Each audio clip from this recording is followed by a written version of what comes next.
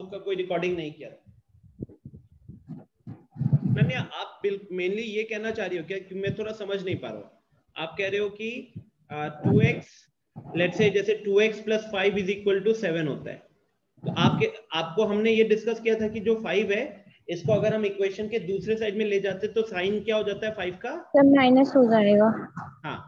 अब आप आप जो कह रहे हो कि you want to do the sign change in coefficient तो क्या आप ये कह रही हो कि you want to take 2x on the other side you want to take अगर x का वैल्यू यहाँ पे निकालना होगा हमें तो ये हाँ. 2 तो डिवाइड हो जाएगा जब आरएसएस में जाएगा तो फिर वो जो टू रहेगा वो माइनस में रहेगा या फिर प्लस में रहेगा? Obviously that will depend on अभी आपको क्या दिख रहा है? मान लो जैसे यहाँ पे 2x इज़ इक्वल टू 2 है तो अभी आपको x के साथ क्या दिख रहा है? 2 मल्टीप्लाइड है ना? तो अगर आपको x के साथ 2 मल्टीप्लाइड है तो क्रॉस मल्टीप्लाई भी करोगी तो ये नीचे टू ही जाएगा ठीक है? और अगर एग्ज़ाम्पल के तौर पे समझा रहा हूँ मान लो कि आपके पास minus five x is equal to two था। अब यहाँ से अगर आप x की वैल्यू निकालना चाहती हो तो अब x के साथ क्या मल्टीप्लाइड है? माइनस फाइव मल्टीप्लाइड तो this time minus five will get cross multiplied okay ये से तो कोफिशिएंट में साइन चेंज नहीं होता है।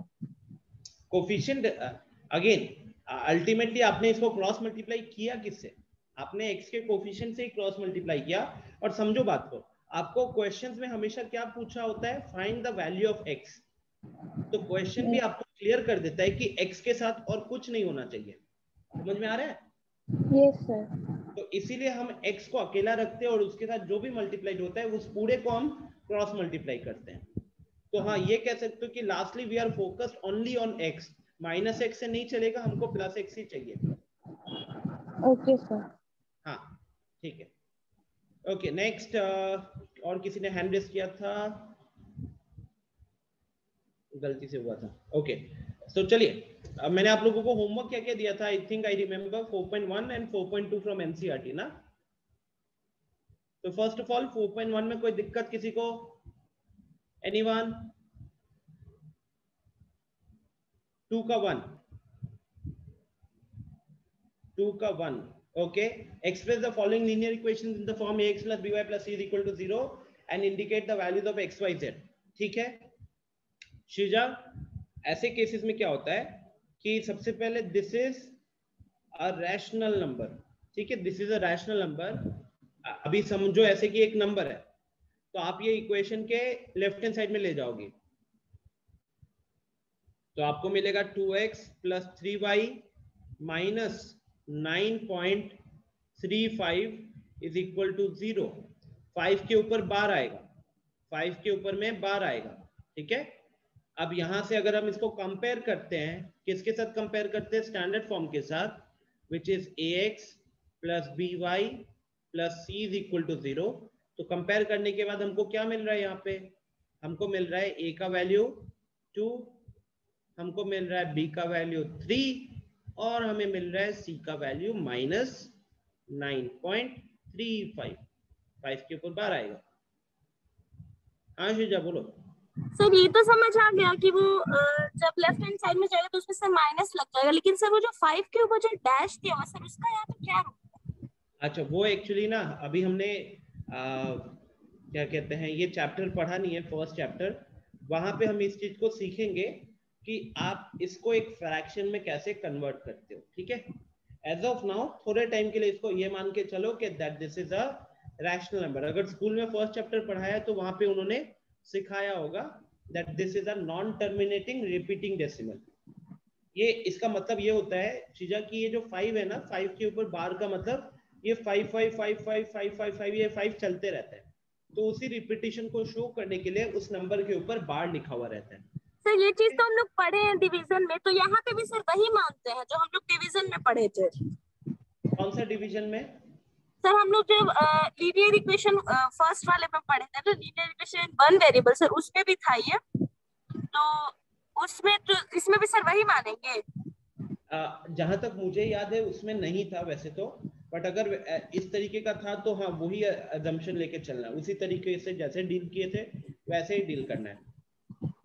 ठीक है? ओके सर हाँ। अक्षरा इसको रिकरिंग बोलते हैं। इसी को रिकरिंग बोलते हैं। ओके तो 4.1 खत्म। अब बढ़ते 4.2 पे।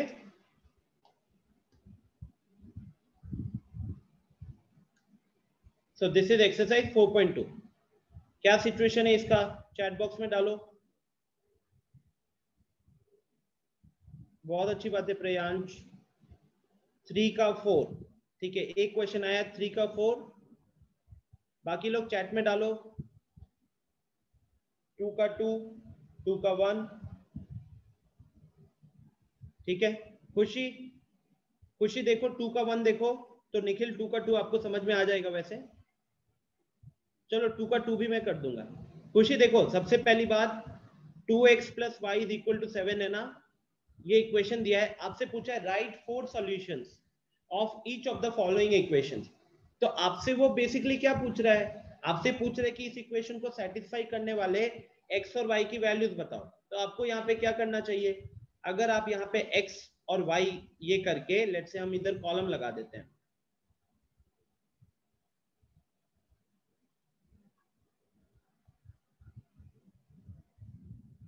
ठीक है? अब बेसिकली आप मान लो कि अगर आपने x का वैल्यू यहाँ पे वन रखा तो y कितना होगा? या फिर मान लो आपने x का वैल्यू इधर वन रखा तो ये कितना बन गया? टू इंटू वन बन गया ना? कैसे सोचना है आपको? ये two into one plus y is equal to seven हो गया। ठीक है? तो ये अब टू इंटू वन तो टू है, उसको आप राइट हैंड साइड में भेज देना। तो y कितना हो जाएगा? y हो जाएगा seven minus two right hand side में भेजोगे तो माइनस टू हो जाएगा ना? तो सेवन माइनस टू कितना हो गया? फाइव हो गया।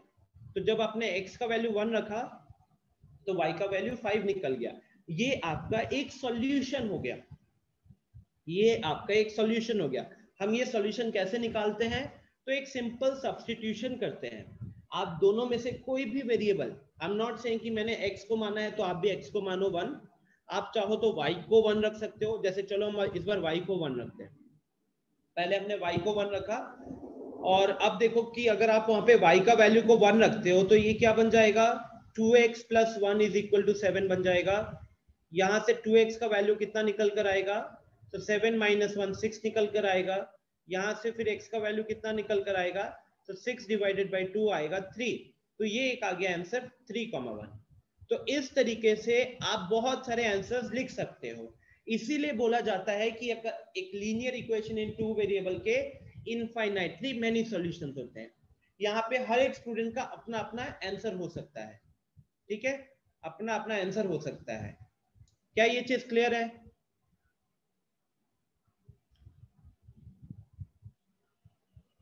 हाँ पूर्वा। सर टू का टू में पाई का वैल्यू रखेंगे हाँ नहीं एक्स का ही वैल्यू रखेंगे मैं बता रहा हूँ अभी वो भी सॉल्व करूँगा। खुशी पहले ये बताओ ये क्लियर है क्या?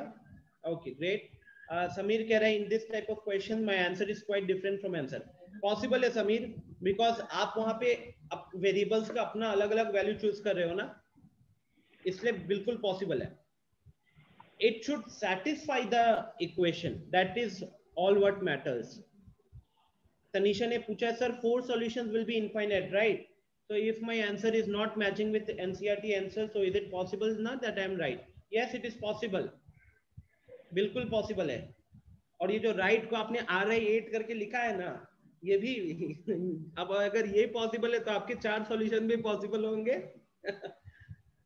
ओके okay, तो अब आते टू के टू के ऊपर ठीक है? टू का two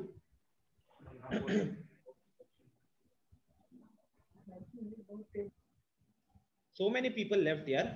I can see four five people left the session which is not good at all I mean doubt discussion के टाइम पे निकल गए. इतना याद रखना। हम अभी जितना अच्छे हैं, जब कोई बहुत ज़्यादा दिक्कत करता है तो हम उतने बुरे हो जाते हैं। और ये ऑनलाइन का फ़ायदा उठा रहे हो ऑफलाइन में सब कुछ नहीं हो पाएगा। तो अगर आप एक नॉन सिंसियर स्टूडेंट हो तो आपका सुबह शाम यही प्रेयर होना चाहिए कि क्लासेस ऑनलाइन चले। वरना आप मेरे से खूब सुनोगे। हाँ प्रज्वल, बोलो। थोड़ा देर पहले मेरा भी क्लास ऐसी तरह लीव हो गया था। और जब वापस आ रहे थे तो अनदर अकाउंट लॉग इन दिखा रहा था किसी और अकाउंट को लॉग इन किया है। यस सर दिखा रहा था कि कोई और अकाउंट लॉग इन किया है। अचानक मैं। लीव हो गया। नहीं नहीं प्रज्वल ये ये चीज़ ऐसे पॉसिबल नहीं है। नो सर क्योंकि- रहा था पर। क्योंकि आपका अकाउंट अब रजिस्टर्ड हो गया है ना तो आप सिर्फ़ और सिर्फ़ आपी के ईमेल आईडी से अगर कहीं पे जूम एंटर हुआ है मान लो कि आपका ईमेल आईडी और पासवर्ड किसी और के पास है और अगर सर बस मेरे पापा के पास है। हाँ तो अब अगर उन्होंने जूम पे क्लिक किया है। नो सर मेरे पापा का मोबाइल मेरे पास है। अच्छा तो ऐसे ये सब टेक्निकल इश्यूज़ हो सकते हैं don't worry at all okay तो अभी इसका बात करते हैं। गाइस सबसे पहले ना यहाँ पे क्या है? यहाँ पे पाई इज़ अ कांस्टेंट पाई तो पता है ना pi r square that pi is a constant तो अब आपको यहाँ पे थोड़ा सा दिक्कत होगा। दिक्कत है सच मतलब किस चीज़ में? तो मान लो कि हमने यहाँ पे x, y, अब मान लीजिए कि आपने यहाँ पे x का वैल्यू रखा है वन एक तो सबसे आसान तरीका क्या होगा? एक तो सबसे आसान तरीका है x का वैल्यू ही ज़ीरो रख दिया। x का वैल्यू ज़ीरो रखने से क्या हुआ? पाई इंटू ज़ीरो ज़ीरो हो गया। तो zero plus y is equal to nine. तो उस केस में y का वैल्यू कितना निकल कर आएगा? y का वैल्यू नाइन निकल कर आएगा। ये एक सॉल्यूशन हो सकता था। दूसरा सॉल्यूशन क्या हो सकता है? इस बार y को ज़ीरो रख दिया। अगर y को ज़ीरो रख दिया तो अब x कितना होगा? देखो, जब हमने y को ज़ीरो रखा तो अब इक्वेशन बनेगा कुछ pi x. Pi x is equal to nine करके। तो यहाँ से x का वैल्यू कितना हो जाएगा? तो यहाँ से x का value nine divided by pi हो जाएगा। यहाँ से x का value nine divided by pi हो जाएगा। ठीक है? तो इसीलिए यहाँ पे नाइन डिवाइडेड बाई पाई लिखा हुआ है। अपूर्वा कह रहा है अपूर्वा वो कह रही है कि बट सर पाई का वैल्यू पुट करके सॉल्व किया मैंने। कोई दिक्कत नहीं है। कोई दिक्कत नहीं है। बट पाई की वैल्यू क्या पुट की हो? क्योंकि पाई का वैल्यू तो अनडिफाइंड है। आपने पाई का यही रखा होगा, या तो ट्वेंटी टू बाई सेवन रखा होगा, या फिर आपने थ्री पॉइंट वन फोर रखा होगा। दोनों ही इसके अप्रोक्सीमेट वैल्यूज़ होते हैं, अपूर्वा। दोनों ही इसके अप्रोक्सीमेट वैल्यूज़ होते हैं। It is not the exact value ठीक है? श्रीजा हैंड रेस किया था क्या? कुछ पूछना इधर? नो सर एडवांस क्वेश्चन अच्छा ठीक है ठीक है, आ रहा है, आ रहे हैं।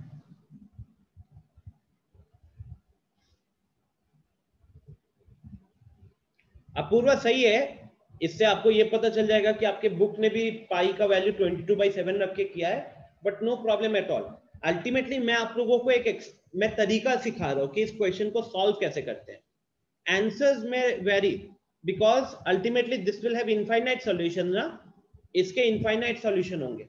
तो इसीलिए आप पाई का वैल्यू रखते हो या नहीं रखते हो is not going to matter matter ये करेगा कि आपने आंसर निकालने के टाइम पे प्रोसेस सही पुट किया था कि नहीं। एंड प्रोसेस क्या होता है?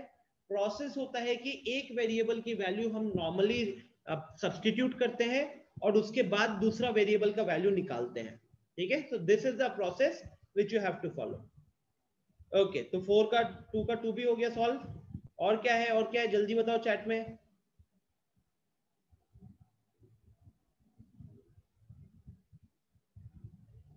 एमसीआरटी इधर से और कोई दिक्कत?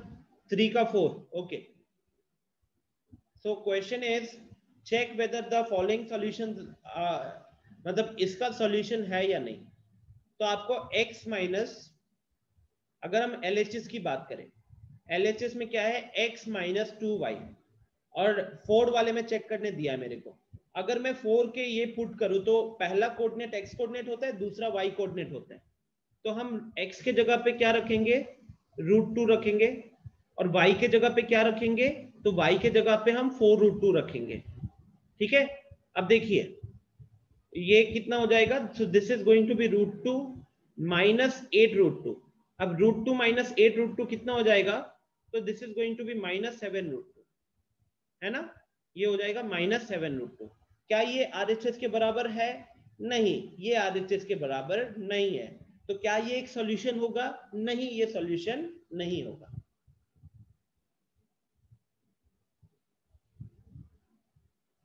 हाँ रजनीश बोलो। सर माइनस सेवन कैसे होगा? माइनस एट होना चाहिए ना।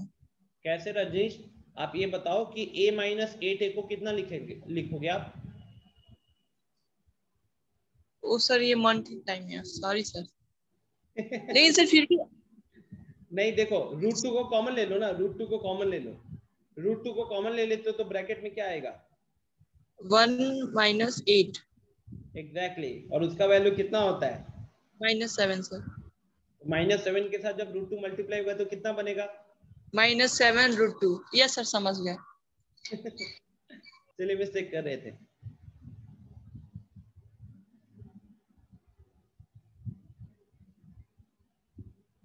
ओके। आ, ये हो गया। और कुछ? आशु थ्री का फोर हो गया ना? समझ में आया आपको? कुछ समझ नहीं आया। सृजा देखो होता क्या है? बाकी अगर इसके क्वेश्चन सॉल्व हुए ना तो हम वही प्रोसेस फॉलो करेंगे। बाकी क्वेश्चन अगर आप सॉल्व हुआ है आपसे इसका थ्री का हम वही प्रोसेस फॉलो करेंगे। आपको क्या बोल रहा है? आपको बोल रहा है कि इस इक्वेशन का इस इक्वेशन का सॉल्यूशन पाँच ऑप्शन दिए कौन सा कौन सा सॉल्यूशन है? और कौन सा कौन सा सॉल्यूशन नहीं है? तो प्रोसेस क्या है? किस तरीके से सॉल्व करते हो? मान लो मैं सबसे पहले वन वाला केस देखता हूँ, ठीक है? या से टू वाला केस देखता हूँ। तो टू वाला केस में क्या होता है? टू वाला केस में आपको पॉइंट क्या दिया हुआ है? अच्छा समझ गए हो? ठीक है ठीक है।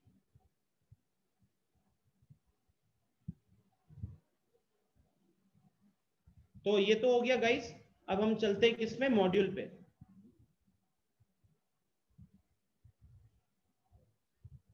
तो मॉड्यूल पे बताओ नाइन एम ज़ीरो फोर इसमें कहाँ पे दिक्कत हुआ है? चैट बॉक्स में डालो। ये देखो, अपूर्वा ने मेरा काम तमाम कर दिया। सेवन एट नाइन लिख दिया एक ही बार में।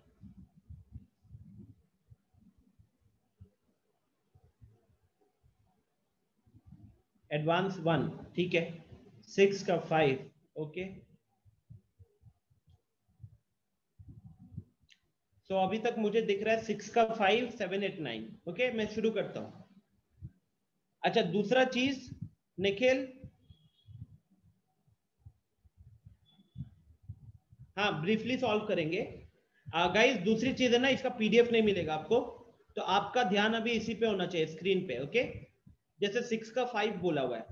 तो सिक्स के फाइव को सॉल्व करने क्या लिखा है? फाइन थ्री सॉल्यूशंस तो देखो, समीर, हम क्या करेंगे? P x plus q y plus r is equal to zero है ना? आप यहाँ पे एक्स वाई डालो पहले। नाउ सिंपल सॉल्यूशन तरीका बता रहा हूँ। एक बार वाई को ज़ीरो रख दो। एक्स देखो कितना आ रहा है।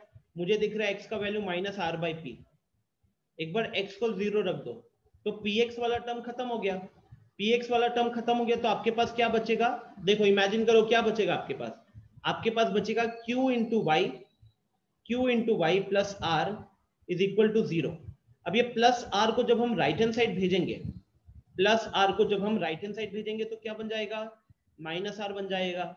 और फिर y का वैल्यू वहाँ से क्या निकल कर आएगा? y का वैल्यू निकल कर आएगा माइनस आर अपॉन क्यू तो इसीलिए यहाँ पे क्या है? माइनस आर अपॉन क्यू ये मेरा दूसरा सॉल्यूशन हो जाएगा। ठीक है? तो पहला सॉल्यूशन ये मेरा पहला सॉल्यूशन था। अब ये मेरा दूसरा सॉल्यूशन हो जाएगा। कोई दिक्कत यहाँ तक? Sameer tell me simple substitution and यहाँ पे जो पी क्यू और आर है ना you are going to treat p q r as simple constant जैसे नंबर्स को डील करते हो ना टू थ्री फोर को जैसे डील करते हो P, Q, R को भी वैसे ही डील करना है। ठीक है? और एक सॉल्यूशन लिखना है तीन सॉल्यूशन बोला है क्वेश्चन ने तो चलो एक और सॉल्यूशन लिखता हूँ। So one more solution will be मान लो कि मैंने x का वैल्यू वन रख दिया ठीक है? मान लो मैंने x का वैल्यू वन रख दिया। रजनीश देखा है मैंने मैं बता रहा हूँ। तो x का वैल्यू वन रखने पे क्या हुआ?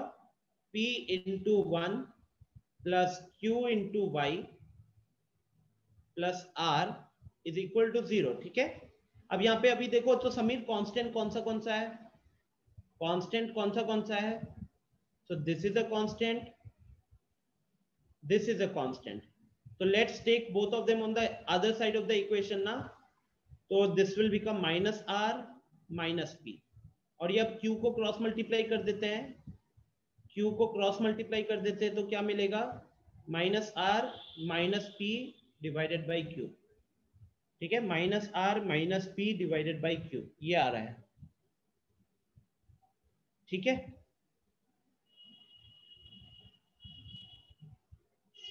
I hope this is clear ठीक है? ओके नेक्स्ट बहुत अच्छा क्वेश्चन पूछा है रजनीश ने. X is equal to zero Rajneesh, देखो यहाँ पे क्या होता है ना? X is equal to zero को आप कैसे लिख सकते हो? आप लिख सकते हो x वन इंटू एक्स एक तरीके से तो ये ऐसा ही हो गया। तो वन इंटू एक्स हो तो x ही लिख के छोड़ देते हैं। Plus zero into y is equal to zero ठीक है? अब यहाँ पे आते हैं सॉल्यूशंस पे।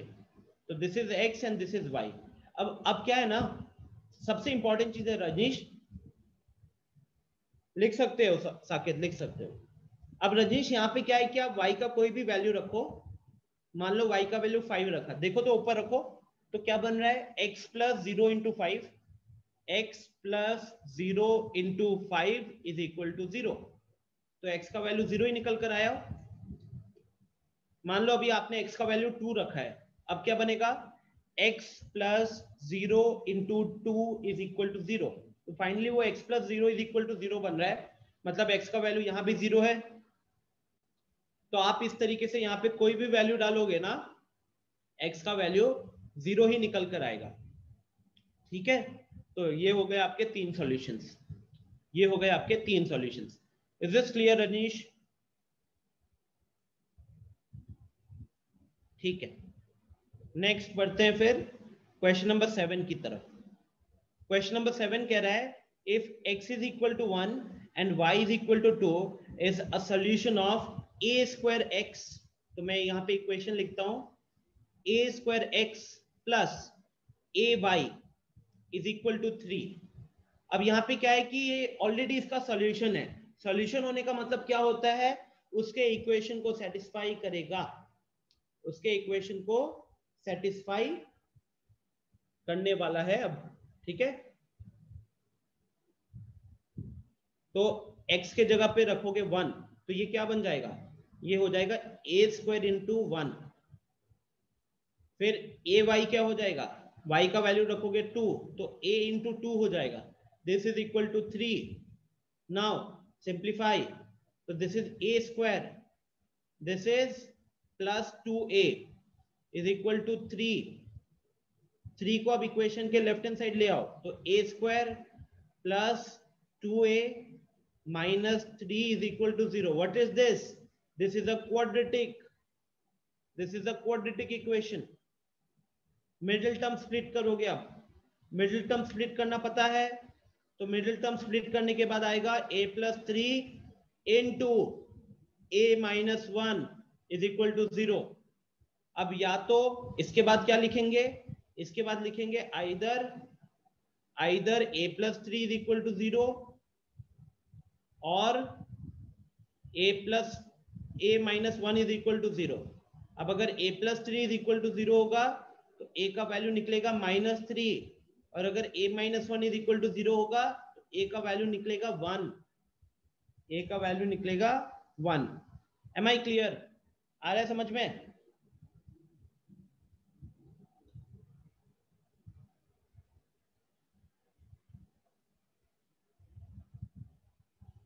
ठीक है?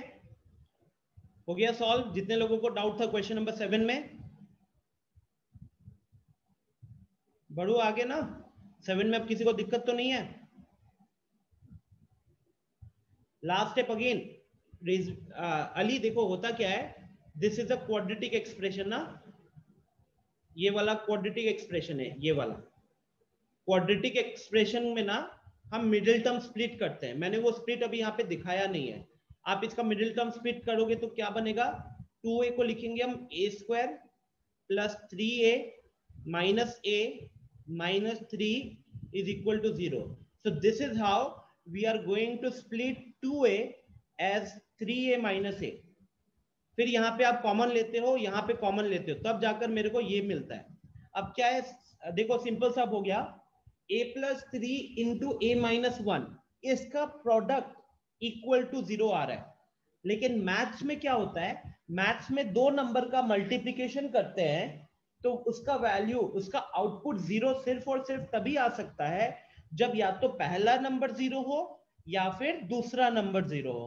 तो इसीलिए मैंने लिखा है either a plus three is equal to zero तो उस केस में ए का वैल्यू माइनस थ्री होना चाहिए, या फिर a minus one is equal to zero उस केस में ए का वैल्यू वन होना चाहिए। So that is why we have two values of a is this clear now Ali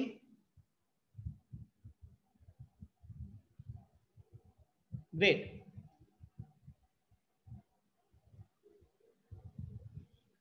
next question number eight की बात हो रही है। हाँ अनन्या बताओ।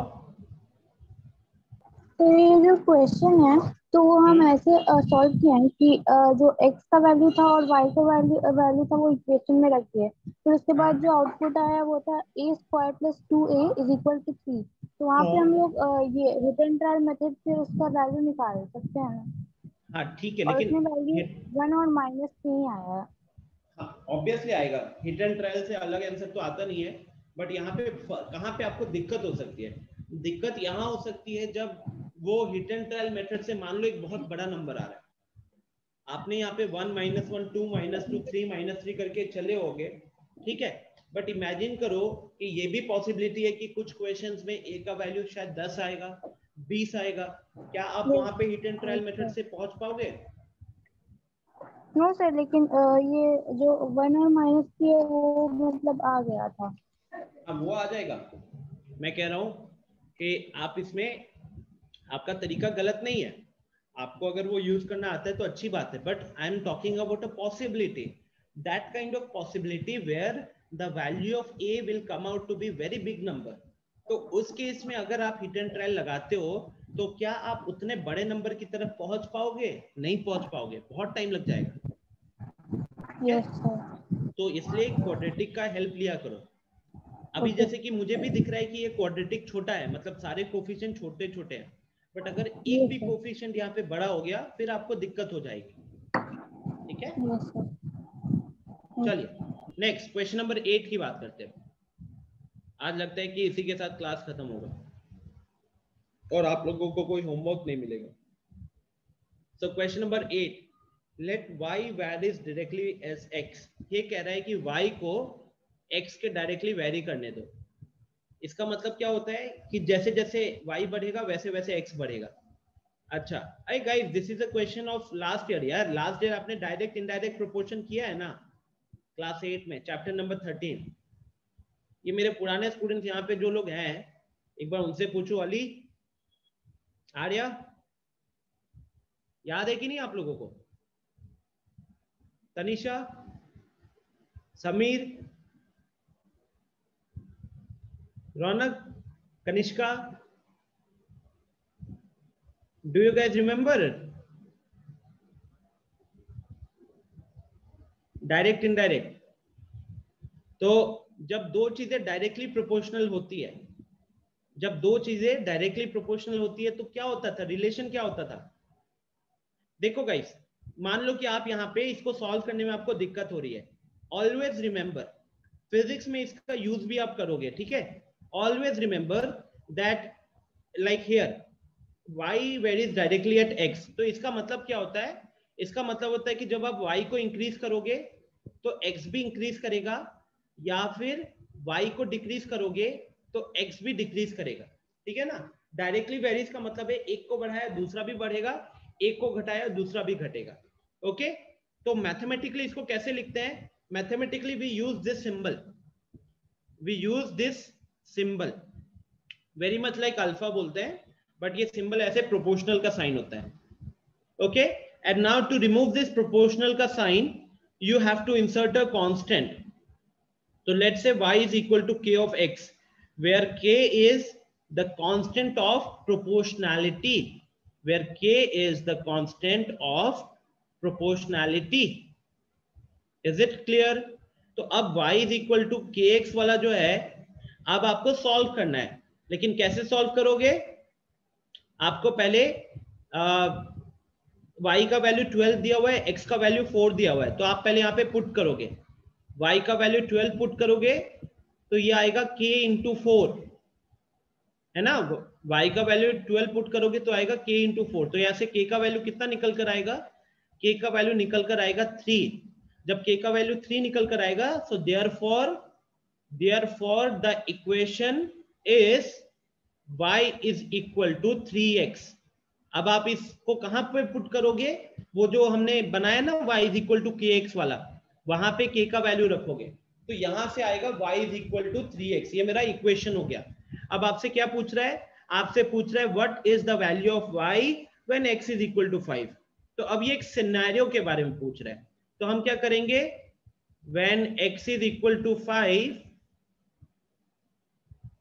then y is equal to 3 into 5 and 3 into 5 will be equal to 15 okay 3 into 5 will be equal to 15 is this clear to everyone please note it down please note it down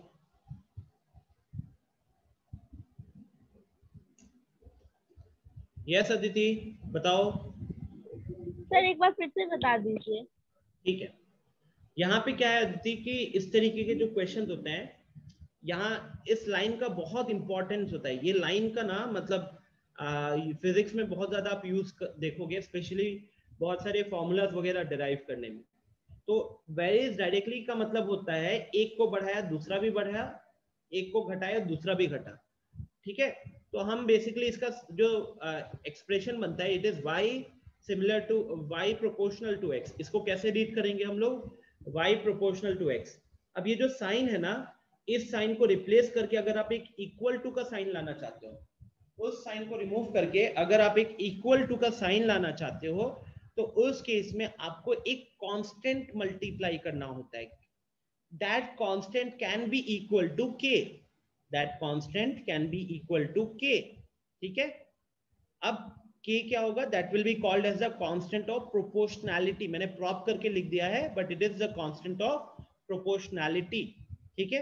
तो ये मेरा equation बन गया। Equation बन गया according to the question अब इस equation में क्वेश्चन कह रहा है कि if y is equal to twelve then x is equal to four तो हमने उसको पुट कर दिया। y की जगह 12 पुट कर दिया और x की जगह 4 पुट कर दिया। तो उसी के अकॉर्डिंग ये क्या बन गया? 12 is equal to K four K का वैल्यू आ गया थ्री जब k का वैल्यू यहाँ से थ्री निकल कर आ गया तो हम उसी इक्वेशन को अब अच्छे से रीराइट कर सकते हैं k के बिना। K का वैल्यू रख देंगे। तो k का वैल्यू रखने के कारण ये बन गया अब y is equal to three X ये बन गया अब y is equal to three X तो this is my final equation और साथ में क्वेश्चन ने एक और पार्ट पूछा है what is the value of y when x is equal to five तब, अब आप इसी इक्वेशन में जब x का वैल्यू फाइव पुट करोगे तो आपको वहाँ से y का वैल्यू मिल जाएगा fifteen is this clear now Apurva, Aditi?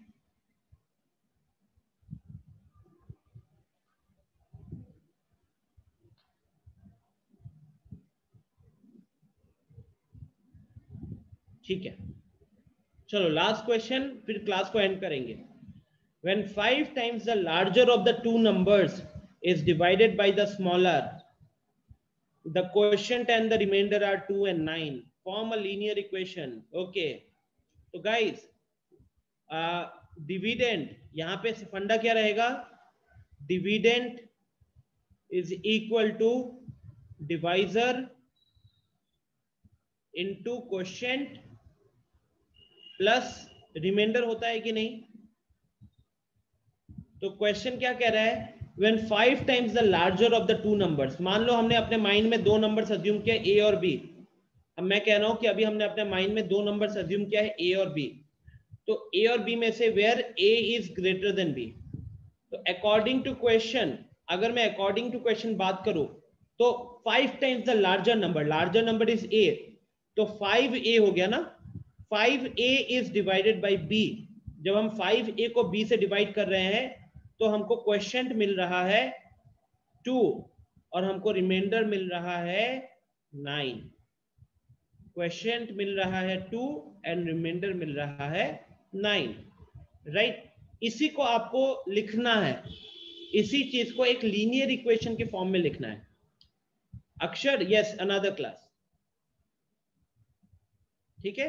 तो अब अगर हम इसको लिखने पे आ जाए तो लेट से my uh, मैं क्या लिखूँगा? मैं डिविडेंड के जगह पे लिखूँगा 5a because 5a is getting divided ना?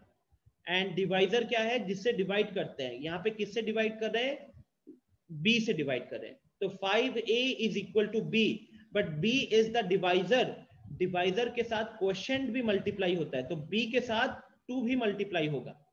प्लस रिमाइंडर रिमाइंडर होगा 9 रिमाइंडर होगा 9 so finally, the equation becomes 5a is equal to 5a is equal to 2b plus 9 ठीक है? अब यहाँ पे हम a और b का वैल्यू फाइंड आउट करेंगे। अब हम यहाँ से a और b का वैल्यू फाइंड आउट नहीं नहीं कर सकते I mean form a linear equation in two variable ये आपका इक्वेशन हो गया। ये आपका इक्वेशन हो गया। And give its two solution two solution का मतलब क्या है? वही ए और बी का कुछ कुछ वैल्यू लगा लो। तो एक बार मान लो ए को ज़ीरो कर लिया, अब बी को ज़ीरो कर लिया तो ए का वैल्यू नाइन बाई फाइव आ जाएगा। एक बार ए को ज़ीरो किया तो बी का वैल्यू आ जाएगा माइनस नाइन बाई टू ठीक है? तो इस तरीके से दो सॉल्यूशन बना लिया। This part is not important not important मतलब ये आप कर सकते हो। दिक्कत यहीं पे आया होगा। यहाँ पे हम लोगों को हमने चूज़ किया कि let the two numbers be a and b where the larger number is a according to question 5 times the larger number means 5a was divided by b and you were getting a quotient of 2 and the remainder of 9 तो जब हम इन सारे values को यहाँ पे put करेंगे तो हमारा इक्वेशन आ जाएगा 5a is equal to 2b plus 9 is this clear to everyone क्या ये डाउट क्लियर है स्टूडेंट्स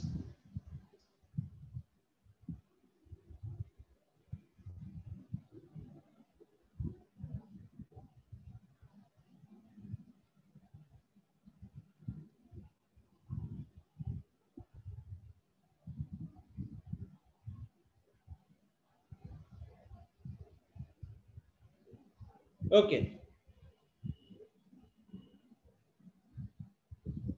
चलो, फिर अच्छी बात है। इसी के साथ मैं क्लास को करता हूँ एंड। एडवांस्ड वाला अगली क्लास में करेंगे डिस्कस। ठीक है? एडवांस वाला अगली क्लास में करेंगे discuss. Bye take care PTM बता दिया जाएगा। क्या टेंशन ले रहे हो? परफॉर्मेंस अच्छा करो। पीटीएम का टेंशन लेने की ज़रूरत नहीं पड़ेगी। यू वेलकम बाय बाय चलो, कोई होमवर्क नहीं है बट चैप्टर को एक बार रीड कर लेना, ठीक है ना सब कोई? चैप्टर को एक बार रीड कर लेना, ताकि आपका कुछ बेसिक्स डाउट होगा तो आप पूछ सको। No homework